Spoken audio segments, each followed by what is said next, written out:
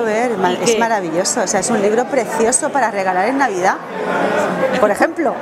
No, no, está cuidadísimo, tiene unas fotos, mira, unas fotos cuidadísimas, están las actrices maravillosas que nos han acompañado toda nuestra vida y me, me- me- me muero de curiosidad por saber.